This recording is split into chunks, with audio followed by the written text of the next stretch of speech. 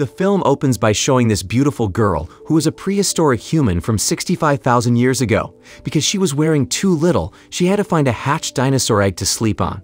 What she didn't expect was that as the other small dinosaurs hatched one by one, the mother dinosaur claimed the girl as her own. Every day, the mother dinosaur would bring her new foods to eat. Her life was one of happiness and stability, but Bella isn't really willing to live alongside dinosaurs. She was living in a primitive tribe around a dozen days ago. The Naija tribe's leader desired to perform a ritual in honor of the gods. It was thought that by performing this ceremony, they would be able to ask the gods for a larger crop of food tomorrow. Then Bella and two other girls were picked as the sacrifices because of their better physical appearance. The ceremony was about to begin. One of the girls was so ashamed that she ran away midway. However, she ran in the incorrect way, falling off a cliff and dying. The clan's chief was furious because one of the sacrifices had gone missing. He instantly instructed his subordinates to tear off the two females' cloaks. The patriarchs declared on the spot that the rite had begun early. The ceremony site suddenly blew a gale, blowing the tribal members in all directions and forcing them to flee to the ground to avoid the wind.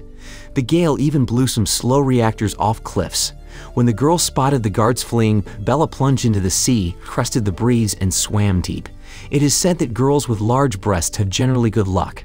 Bella had hardly swum a few kilometers when she came across a fishing boat belonging to another tribe. When Captain Jack spotted the girl in the seawater, he thought she was a mermaid. He threw a net across and rescued Bella.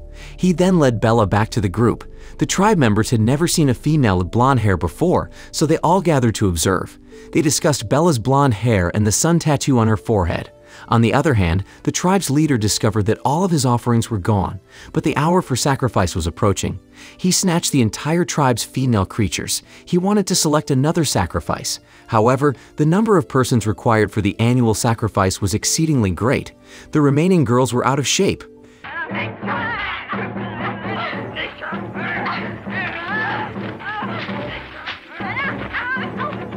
Initially, the patriarchs thought God had no appetite. The patriarch had no choice but to analyze Bella's escape path. Then he gathered his warriors and started out to recapture Bella. This is a primordial tribe that has existed for 65,000 years. Its members are friendly, simple, and fearless. They had just caught a 7 to 8 meter long dinosaur alive for tonight's dinner. They did not expect the dinosaur to break free from the rope and roar and pounce on the crowd as a result of their irresponsibility. People lighted a campfire to scare the dinosaur. What they didn't expect was the dinosaur to rush straight to the campfire. Finally, they emptied all of the stock oil on the ground, ready to wait for the dinosaur to run over and ignite the gasoline. Flames erupted up on the dinosaur. The tremendous temperature quickly melted the dinosaur's skin, allowing him to feel the heat of the fire. The stench of meat has spread around the beach as the dinosaur hisses, screams, and struggles in the center of the fire. The dinosaur's struggle weakened gradually, and tribal members eagerly raced forward to dismantle it. The tribe eventually made it to dinner. The tribe members were happy to sing and dance. Only the freshly arriving Bella was shunned by the audience. She could only be alone on the beach. Jack, on the other hand, rushed over to Bella with food and began conversing with her. He also wanted to give her the bone necklace, so their friendship grew very intimate. Every day after hunting, Jack will bring her fresh food.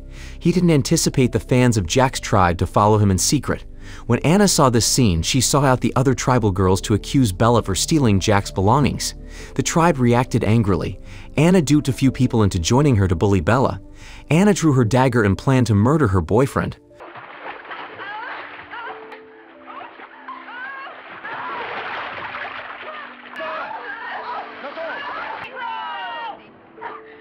Finally, Jack arrived and explained everything to everyone.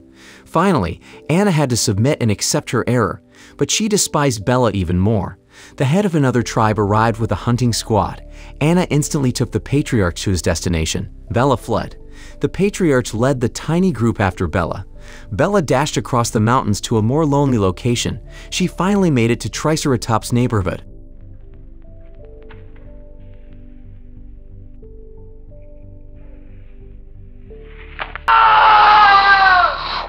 Bella had little chance against the Triceratops, which weighed several tons and was as big as a tank. Finally, the Patriarch was the Triceratops' highest flyer, flying more over 10 meters before becoming unconscious. When Jack returned from hunting to figure out what had happened, he immediately led a group of people to the mountain to look for individuals. However, he did not find Bella, but rather a severely injured dad. Jack immediately arranged for the crew to return the patriarchs to the tribe. To his surprise, the Triceratops reappeared and murdered one of the members. Jack didn't want to watch any more of his people perish, so he took the initiative and shouted to get the Triceratops' attention. The infuriated Triceratops continued to charge at Jack's ass. Jack unexpectedly stopped a corner at a vital moment. Triceratops then plummeted off the cliff due to the inertia of will. After returning, Jack organized a funeral for the deceased team members. Just while everyone was mourning their companions, Anna took a torch and lit up the hut Bella had made with considerable difficulty. Jack, moved by the image, couldn't help but race into the primeval forest alone, determined to find Bella.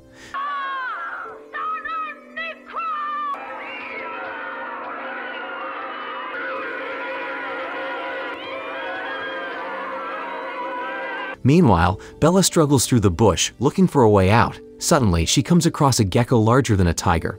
He retreats out of fear. She accidentally falls into the trap of a man-eating flower. Bella battled for a long time before she could simply escape. However, she discovered that the man-eaters had bitten her hair. Fortunately, she brought the dagger that Jack had given her. She successfully hacked off her hair and escaped. Bella was fatigued after running all day and night. The frigid wind at night was quite cold. With nowhere else to go, she had to find a developing dinosaur egg to sleep on, but she had no idea that when she awoke, all the other small dinosaurs had hatched, and the mother dinosaur had adopted Bella as her child. Since then, Bella has led a wonderful life with the dinosaurs. Jack searched all night and only discovered a strand of Bella's blonde hair. He believed she had been consumed by the man-eating flowers.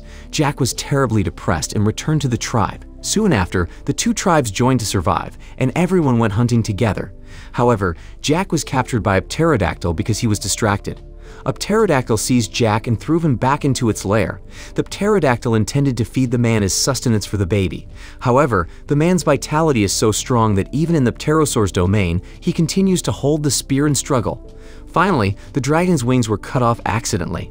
The pterodactyl quickly lost the air edge it needed to compete with the man. Finally, Jack pushed the pterodactyl from the cliff. Then Jack dashed down the mountain with a spear, killing the pterosaur entirely. Just then, the dinosaur hissed again in the distance, and Jack looked over with caution. In the afternoon, he noticed Bella was playing with a dinosaur. Jack believed Bella was being pursued and ran over. They were eventually reunited.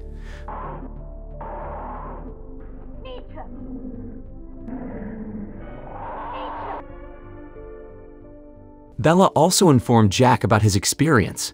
Unexpectedly, a hunting team from another tribe noticed the sight and quietly informed the patriarch. Bella and Jack were ecstatic about the sport. The next morning, Jack simply covered his back and got up.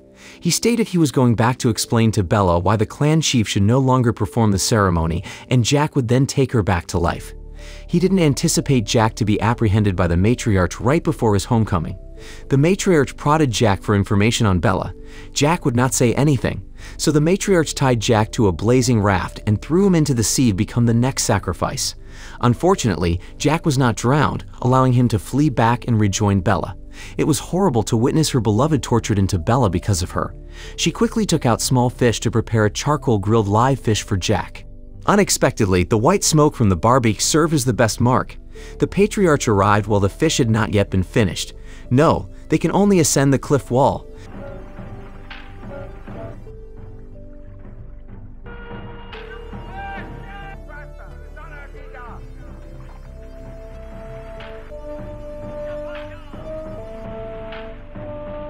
They hoped to use the terrain to avoid the pursuit. However, the patriarchs remained at the highest position, gazing down on them. They tossed and turned for half a day, but could not avoid the fate of death. The mother dinosaur appeared just in time. It growled, charged across, and dispersed the throng. Bella was taken away by the mother dinosaur. The unfortunate Jack was abandoned. When the dinosaur mother abandoned him, the chief returned him to the clan and chained him up. The patriarch stated that he intended to kill him in order to re-sacrifice. A tsunami hit the island unexpectedly. A swarm of crabs the size of a car emerged on the beach. The crabs were eating people all over the place. The crowd shrieked and scattered, but nobody helped Jack untie the rope, the pivotal moment. Bella sprinted over. She released Jack's rope and led him to the raft on the beach. The sea was so turbulent that the patriarch decided to let the water flow backward. However, it didn't take long for him to be swallowed by the massive waves. Jack and several other people were fortunate to be washed to another island by the seas. They have since had a lovely life on this island. So what did you think of this movie? Leave it in the comments below, and if you enjoyed the video, please like and subscribe for more movie recaps. See you in the next video.